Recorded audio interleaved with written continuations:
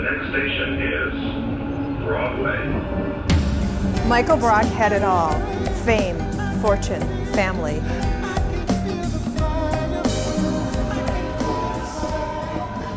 And a drug habit that took him from Park Place The next station is to Park Bench.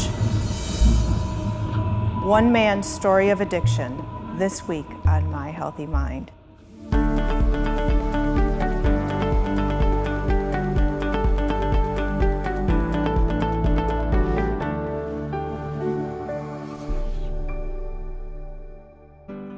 Welcome to My Healthy Mind. I'm Elizabeth Atkins. It's estimated that 20 million adults in the United States have substance use disorder. Among substance abusing adults in the United States, a full 50%, that's 10 million people, also have co occurring mental illness. reaching for, for drugs and alcohol as a way to solve problems for yourself can result in you going down the slippery slope of causing all kinds of problems for not only yourself, but your family, your friends, your wife, your kids, and so forth. A lot of pain and suffering because of that. The story of Michael Brock is one of extreme highs and extreme lows. From A list club performer, recording artist, living large, to broke, broken, and homeless. How did this happen? drugs were always around. I mean, it, it, it, music and drugs is like, you know, love, sex, rock and roll, drugs. Simply lost my way. You use it long term to help yourself, and now the long term side effects are you're now making yourself more depressed. And drugs take you away from yourself and they take you away from your spirit.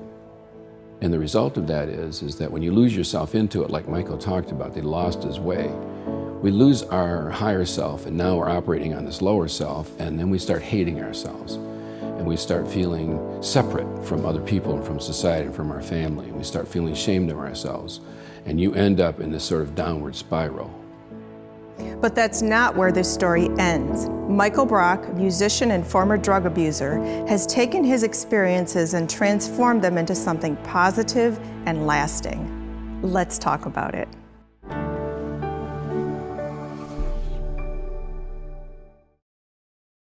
Stress, depression, and severe mental illness can happen to anyone.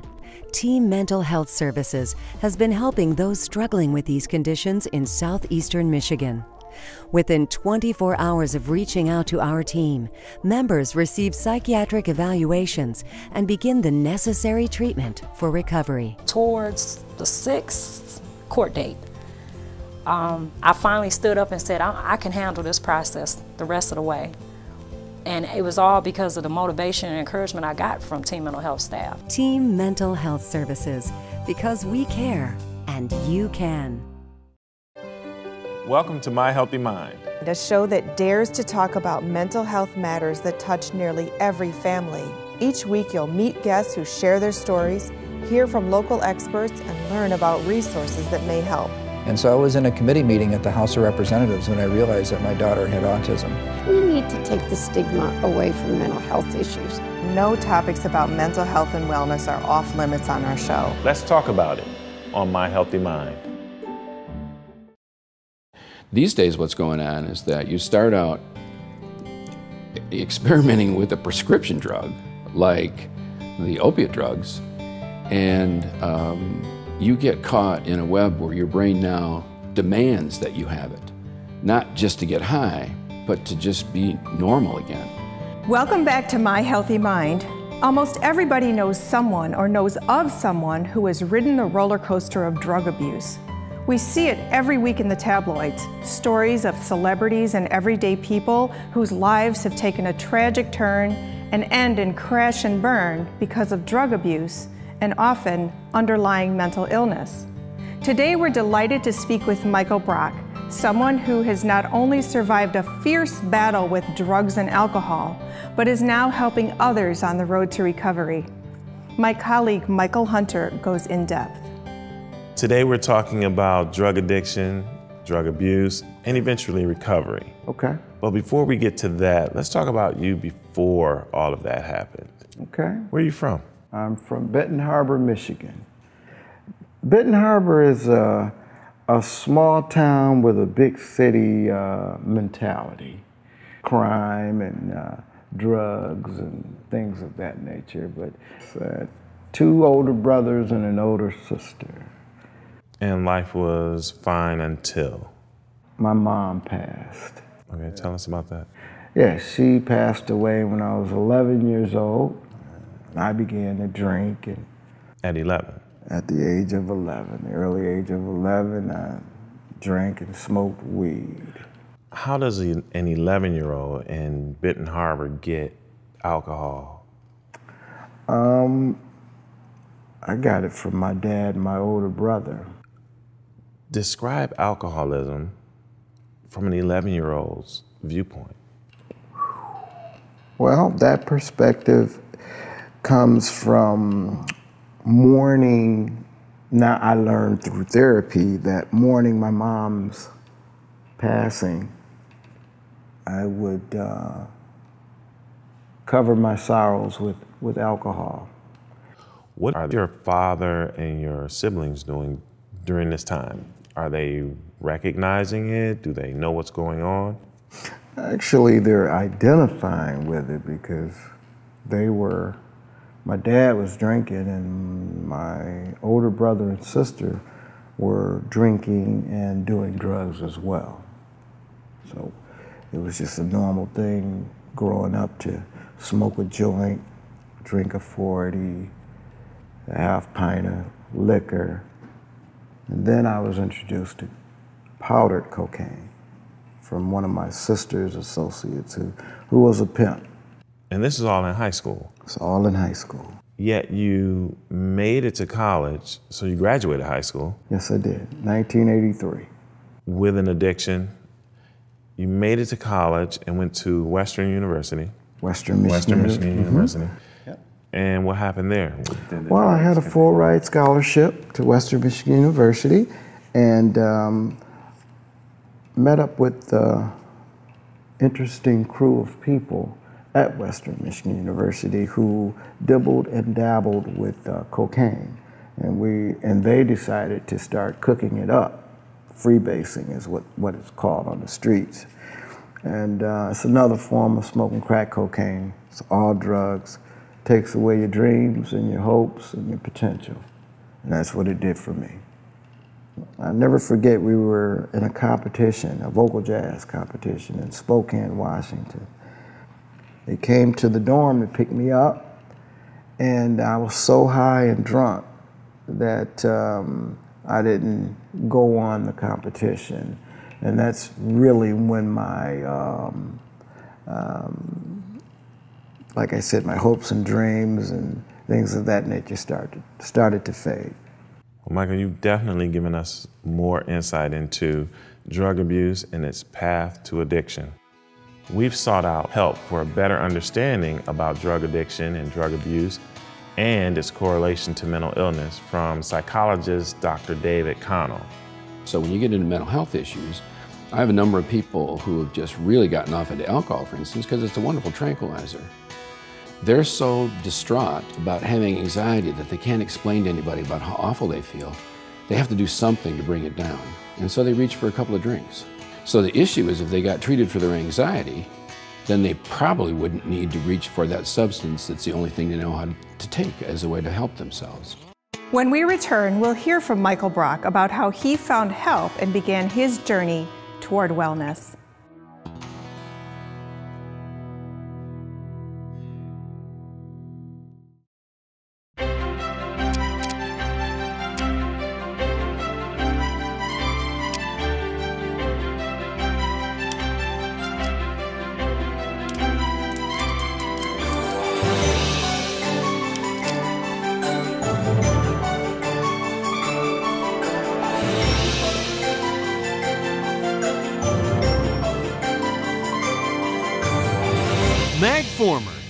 Set sold separately, batteries not included.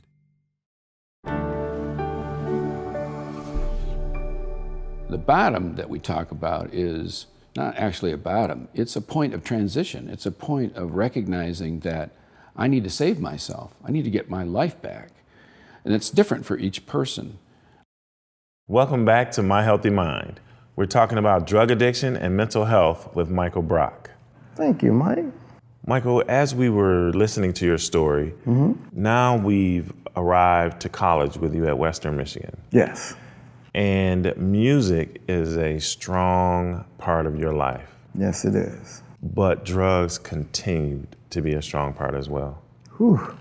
Yes. But you were in the music industry. Were you singing professionally, amateurs? What was happening with you in music?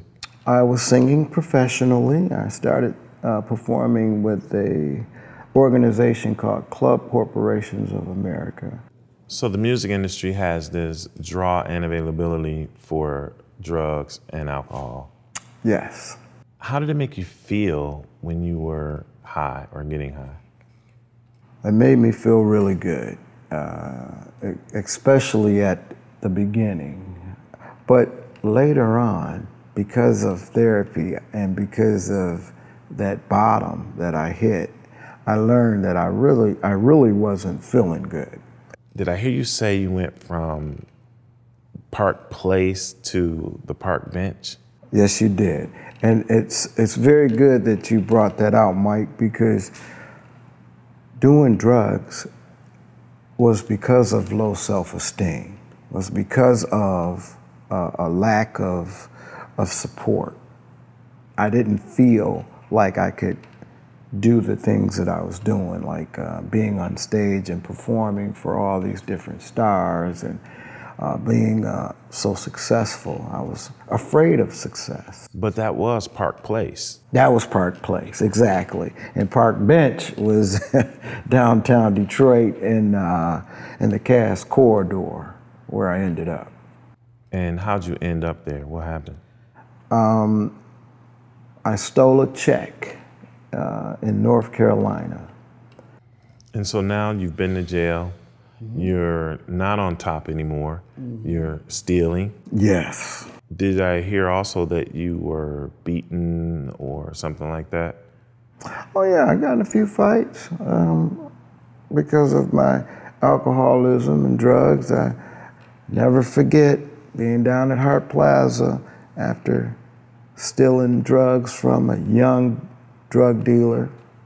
Uh, well, his counterparts or his posse or whatever saw me in downtown Detroit and they said, There he is right there. Of course, they gave me a, a, a whooping, and um, uh, that's when I decided, hey, enough is enough. You know, I'm gonna try and get in rehab and turn my life around. And did you get into rehab? Yes, I did. I went to the Salvation Army of Harbor Light on Park Street. Okay. And, um, you know, it, it, this was 27 years ago. Uh, my clean date is 9 14 88. And when I went into uh, the Salvation Army of Harbor Light, I, and my mind tells me, you know, you stop using at an early age. Maybe you're not an addict. Maybe you're not addicted to drugs. Maybe you can drink again. I can't have a glass of wine at dinner. I can't uh, smoke cigarettes. I can't uh, smoke weed uh, because I am a recovering addict and alcoholic. What do you attribute your success to for maintaining recovery all of these years? Woo! God first and foremost. The fellowship. Um, Alcoholics Anonymous, Narcotics Anonymous, the literature, uh, my relationships with uh, my sponsor and friends. We looked at addiction from the eyes of that 11 year old. And now here we are a number of years later, and now we're sober and sober every day. What was that like? Hmm. A blessing. It really was. And it is a blessing because uh, I'm able to I'm able to live, you know, without uh, uh, drugs and alcohol, I said, I wonder, man, yeah, I'm able to deal without, uh, I'm able to live and enjoy life and people, and um, I don't have to um, hide behind uh, false pride and, you know, uh, the life of crime. And it's, it's, it's, it's, it's like family, you know, my grandson, and oh, it's, it's, it's, it's great, you know. Congratulations, Michael, on 27 years of sobriety. Thank you. We know that your story goes beyond a successful recovery story. Okay. And when we return, we're going to talk to you a little bit more about what you're doing now to help others. Thank you very much. We'll be right back. Opening for Aretha Franklin was just historic for me. I mean, it was because I'm staying clean and sober.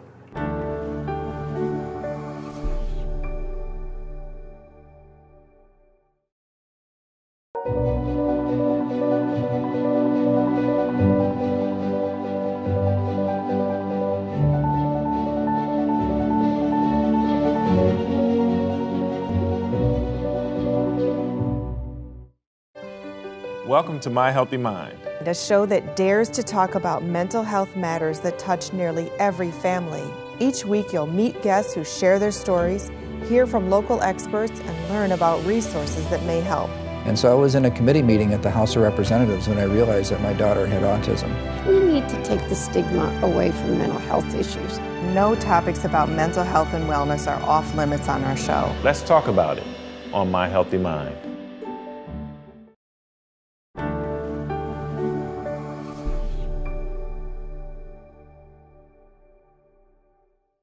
Welcome back to My Healthy Mind. Today we're talking about drug abuse, addiction, and mental health. We've learned from Dr. Connell that drug addiction can be caused by many factors. Our guest, Michael Brock, has shared his story of addiction and recovery, and he told us about the treatments that have been instrumental to him finding his way. Only 10% of drug addicts actually seek professional help, but of those, up to 60% can successfully recover. Dr. Connell explains. Sometimes it takes more than one application of treatment in order for somebody to be fully ready to imbibe the teachings and the, and the, the coping mechanisms and so forth. Everything flows from the decision until the person decides. But how do they get to that decision? When I was talking to Michael, he said, it's a process. And it's okay to be in that process, not shame yourself. Because if you shame yourself, you'll feel disqualified, like you don't deserve to win, and you won't let yourself win. So it's so important to forgive yourself when you falter and go back at it again. Clearly, the most important factor in sustained recovery is for addicts to seek help, professional help, because addiction is too big to tackle alone. Through professional intervention, Michael Brock actually went from having a serious problem to being part of the solution, helping others on the road to recovery. So, having been involved in drugs for so long in the streets, running from drug dealers, beaten, Mm-hmm. wasn't that scary at times? Very. I'm so glad you asked, Mike. Uh, I remember doing a song for the city of Detroit, and we were shooting a video. We were outside, out front on Woodward Avenue, and uh, a lot of people around. And I heard my Michael, Michael, and uh, just reminded me of the past that you spoke on about getting beat up, and because this guy he helped me out, and um, he looked at me and he says, uh, "You remember me?" I said, "Well, vaguely." And he reminded me that uh, he was an engineer for um, the first song, one of the first songs that the Supremes did, uh, Diana Ross, um, "Stop in the Name of Love," and I'm like, "Wow." And uh, so afterwards, he he um, asked me for a ride, and I gave him a ride back, and he was sort of, you know, um, uh, embarrassed that he was living in a, a bandominium, is what we call them, a place where there's no running water and uh, gas and lights and things like that were off, and he was squatting.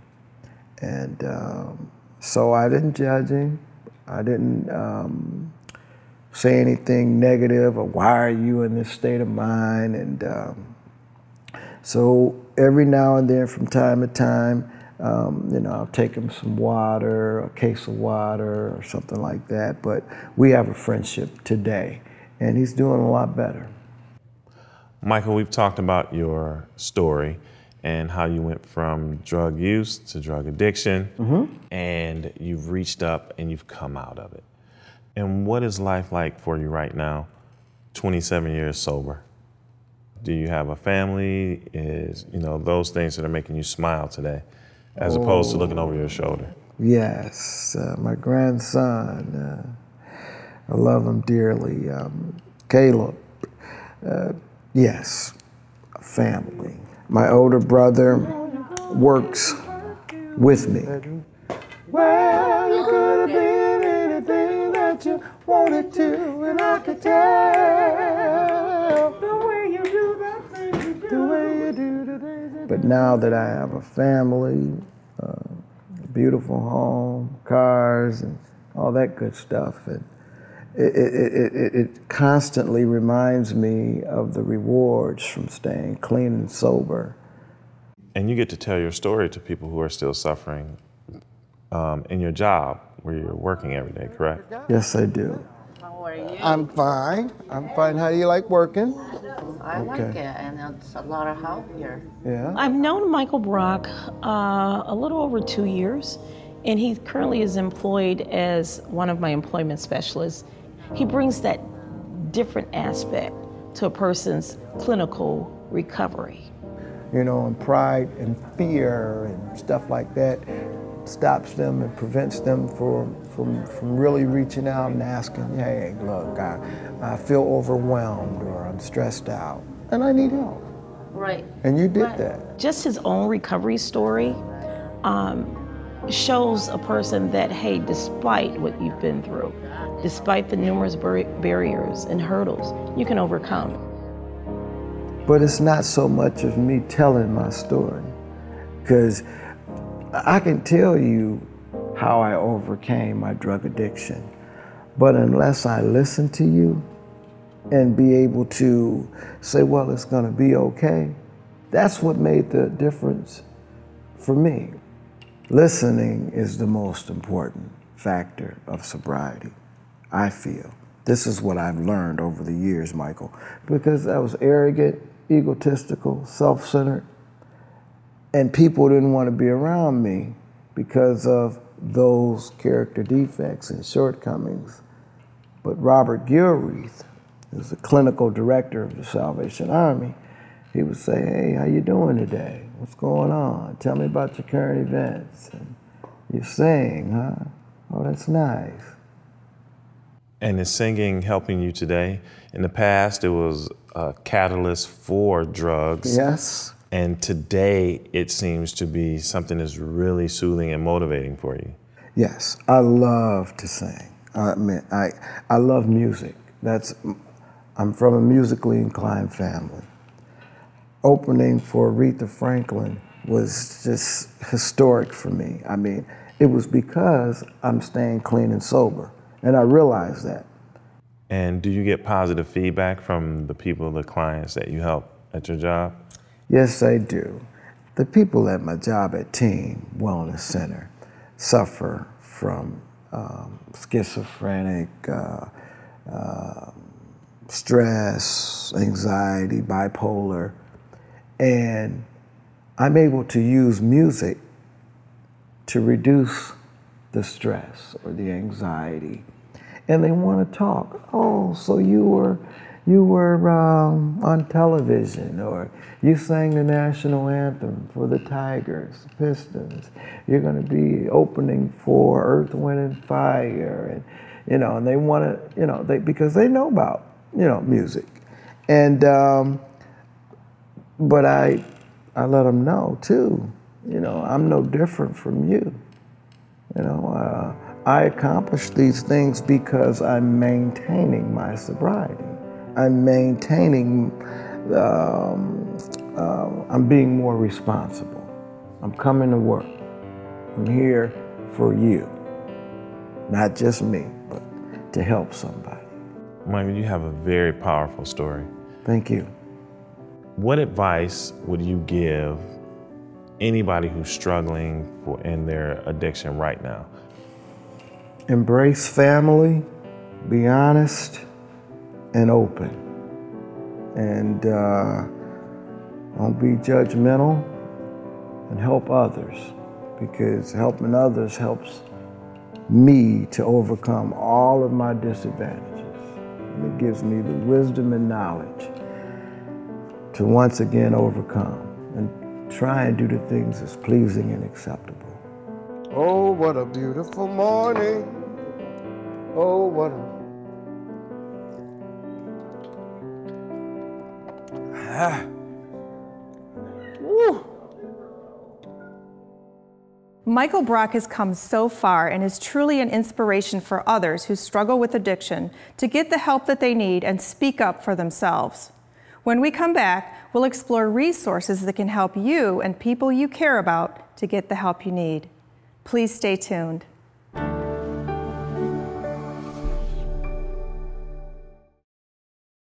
Stress, depression, and severe mental illness can happen to anyone. Team Mental Health Services has been helping those struggling with these conditions in southeastern Michigan. Within 24 hours of reaching out to our team, members receive psychiatric evaluations and begin the necessary treatment for recovery. Towards the sixth court date, um, I finally stood up and said, I, I can handle this process the rest of the way. And it was all because of the motivation and encouragement I got from Team Mental Health staff. Team Mental Health Services, because we care and you can.